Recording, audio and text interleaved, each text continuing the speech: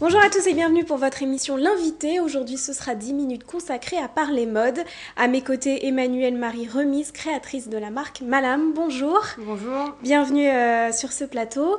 Alors, avant de parler un peu de, de votre marque, on va s'intéresser à vous. On va essayer de mieux vous connaître. Alors, vous êtes une jeune créatrice. Quelle formation avez-vous suivi Alors, j'ai fait une école de commerce, EM Lyon. Et ensuite, j'ai fait une école de style S-Mode à Paris. D'accord, Voilà. donc c'est deux parcours euh, complètement différents, mais finalement un peu complémentaires. Exactement, puisqu'en en école de commerce, on apprend à vendre un produit. Le vêtement, c'est quand même un produit, même s'il y a tout le côté création. Et donc, euh, c'est pour moi complètement complémentaire. Et c'était une stratégie au départ, ou alors vous avez commencé par le commerce, vous n'avez pas aimé, vous êtes reconverti? Euh, C'était pas forcément une stratégie, mais à la fin de l'école de commerce, je cherchais ce que j'allais bien pouvoir faire et je me suis dit, j'aime euh, la création, je vais voir si je peux pas faire une formation là-dedans. Et en fait, de fil en aiguille, euh, c'est parti euh, sur la création de vêtements, alors que c'était pas du tout prévu au départ, effectivement. Et ça fait combien d'années d'études en tout là? Hum, facilement 8, 8 ans, d'accord. Alors vous êtes originaire de Paris? Région parisienne, oui. depuis toujours? Oui. Et donc qu'est-ce qu'est-ce qui vous passionne finalement dans la mode? Euh, J'aime la liberté de euh, créer, de faire euh, ce que j'ai envie de faire au moment où j'ai envie de le faire. Et c'est vrai que le, le vêtement me donne cette possibilité-là en jouant avec beaucoup de tissus différents, de formes différentes. je fais jamais la même chose. Et Est-ce qu'il y a un créateur qui, que vous affectionnez et qui vous inspire par exemple? Il y en a beaucoup trop pour que je puisse en citer Ou alors un. un seul, hein, peut-être un... Euh, j'aime beaucoup, j'aime beaucoup Castelbajac, j'aime beaucoup son utilisation des couleurs, des imprimés. Euh, j'aime beaucoup Galliano, mais ça, je pense que tout le monde aime Galliano. Voilà. Euh, j'aime beaucoup la profusion d'imprimés et de, de tissus qu'il utilise, par exemple, avec des modèles très, très impressionnants. Et vous suivez un peu ce qui se fait dans la mode? Vous regardez souvent les magazines, Internet, les défilés? Alors, pas beaucoup. Pas beaucoup. Euh, j'ai pas vraiment le temps, en fait, premièrement. Et deuxièmement, euh, j'ai pas envie de suivre les tendances. C'est-à-dire que je fais ce que j'ai envie de faire euh, et qui m'est inspiré par les tissus. Mais j'ai pas envie de rentrer dans une tendance, rentrer dans le wagon de pof, ça c'est la, tendance du python, je vais faire du python. Ça. Alors, je sais ce qui se passe en ce moment, mais j'y prête pas forcément attention. Voilà. Et où est-ce que vous vous habillez? Est-ce que vous créez vos vêtements vous-même? Oui, Vous êtes habillé tout en malam là? Tout en malame. Très bien, alors votre marque justement, vous avez créé euh, Malam, alors pourquoi ce nom? Est-ce que ça a une signification particulière? Euh, non, en fait, je cherche un mot qui, qui se retienne bien, qui se prononce facilement dans toutes les langues. Euh, j'ai mélangé les lettres de mon nom, je suis arrivée à ça et voilà, c'est c'est né comme ça en fait. Et Voilà. quand est-elle née? En 2007. Voilà. Très bien, alors bon, la création passe par du stylisme. Est-ce que vous dessinez vous-même vos modèles et vous les créez ensuite? Comment ça se passe? Euh, alors, je dessine très peu. C'est-à-dire que quand je veux faire un nouveau modèle, généralement, soit je pars d'une pièce de tissu que je vais draper sur le mannequin et qui va m'inspirer quelque chose, soit je pars euh, du tissu en lui-même. C'est-à-dire que suivant le tombé, les imprimés, ça va m'inspirer un modèle particulier, mais je dessine très très peu. Seulement, par exemple, pour faire une collection précise comme pour la, la Fashion Week, euh, je fais un petit griffonnage pour voir à peu près l'ensemble des pièces, si ça se correspond, si c'est cohérent. Mais je fais pas de, de planche de style, je fais pas de dessin plus que ça. Voilà. Alors, à qui est destinée euh, cette collection, cette marque?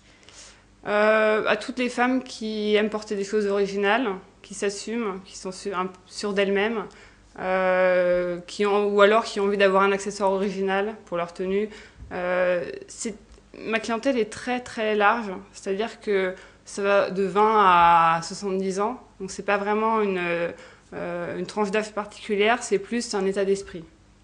Est-ce qu'il y a une collection pour les hommes?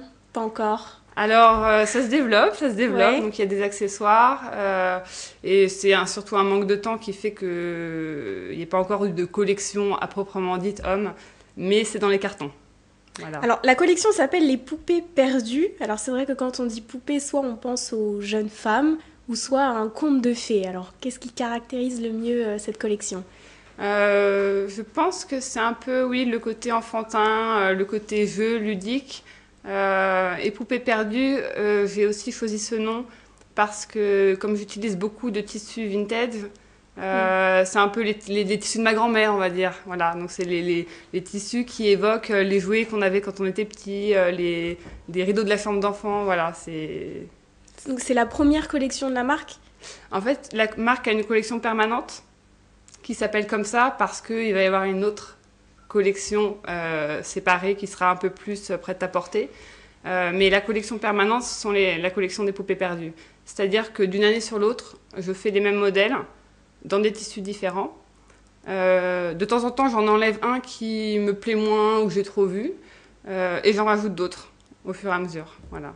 Un peu comme les, grandes marques de haute couture qui ont vraiment une ligne euh, qui, ne bouge pas et tout le reste un peu adapté par rapport aux tendances. Même si vous n'êtes pas dans les tendances, si j'ai bien écouté ce que vous m'avez dit. Alors, quel genre de, de tissu, de matière vous utilisez principalement? Alors donc beaucoup. Alors dans les matières, c'est beaucoup, euh, beaucoup de coton, de lainage, euh, de.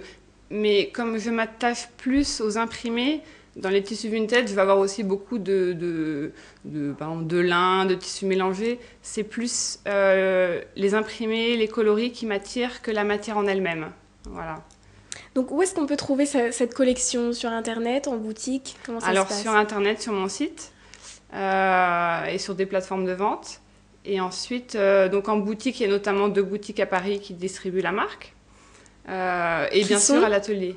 Alors il y a la boutique Janaïs qui est près de hum, Nation et la boutique Simone Elisabeth qui est dans le Haut-Marais à Paris.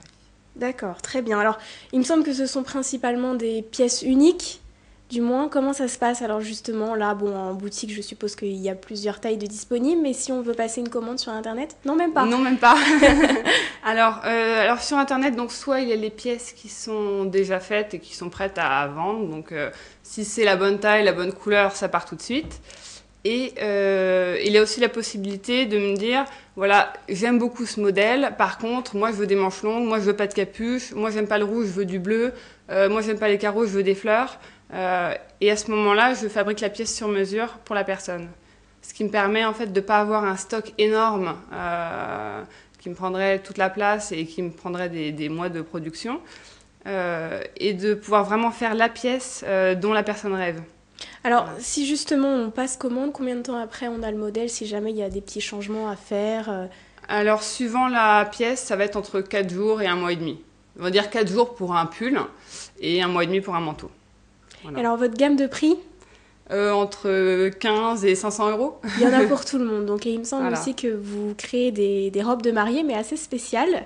Voilà, donc je fais des robes euh, pour des mariés qui ont envie d'un mariage original, par exemple euh, une robe bleue, une robe rouge, une robe courte, une robe à capuche. Alors ça, c'est vraiment selon la, la, demande, quoi. Selon... Voilà, mais toujours en partant d'un design que j'ai déjà fait. C'est-à-dire que ça va être un modèle que je vends déjà en modèle classique, mais qui va être décliné peut-être en long, en soie et blanc. Et là, tout de suite, c'est une robe de mariée.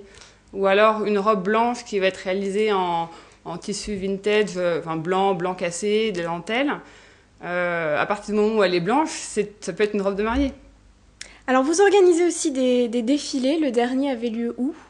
Alors, euh, donc j'organise pas, je participe. Donc c'était un, défilé la dernière fois à Londres pour la Fashion Week. Euh, donc ça fait deux ans de suite que je participe. Euh, et c'est très intéressant comme expérience parce que ça me m'oblige d'abord à créer de nouveaux modèles, beaucoup de nouveaux modèles d'un coup, ce que je fais pas dans le reste de l'année, et à avoir une certaine cohérence dans les modèles ce qui est aussi inhabituel puisque en faisant des pièces uniques, j'ai toujours des tissus très très différents. Donc c'est un exercice que je trouve très intéressant d'abord et en plus ça me, ça me permet de toucher aussi euh, d'autres personnes, euh, d'avoir de nouveaux clients, d'avoir des retours presse. Euh, très bien, alors justement sur ce dernier défilé, on va regarder quelques images et on se retrouve juste après.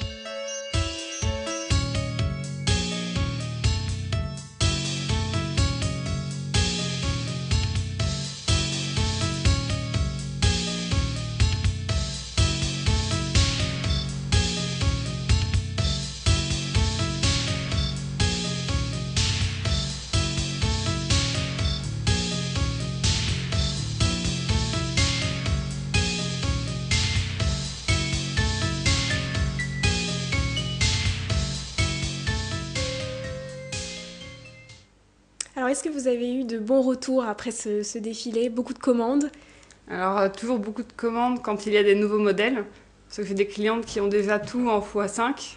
Donc là, du coup, ça leur donne l'occasion de découvrir un peu de nouvelles choses et de ne pas avoir encore la énième robe, la même, dans un autre tissu. Donc c'est sûr que euh, ça apporte toujours un afflux de commandes important juste après un défilé. Alors c'est vrai que l'avantage d'Internet, c'est qu'on est visible partout dans le monde. Est-ce que vous avez eu des commandes venant de, clientes étrangères? Alors en fait, je vends principalement à l'étranger. C'est-à-dire que j'ai compté, jusque-là, j'ai vendu dans plus de 33 pays. Donc c'est quand même euh, principalement euh, Amérique du Nord, Europe. Mais j'ai aussi envoyé euh, au Japon, en Chine, en Corée du Sud, en Australie. voilà. Donc c'est un peu international comme distribution. Et alors quels sont vos projets pour 2012 L'ouverture d'une boutique ou plus de distribution? Voilà, donc pour 2012, euh, axer un peu plus le développement justement sur euh, une distribution en boutique, multimarque, et la création d'une deuxième ligne, donc un peu plus accessible, un peu plus prête à porter. Voilà, donc tout ça c'est dans les cartons. il manque juste le temps. très bien, bah, bonne continuation à vous et merci d'être passé. Et nous on se retrouve très vite avec un nouvel invité.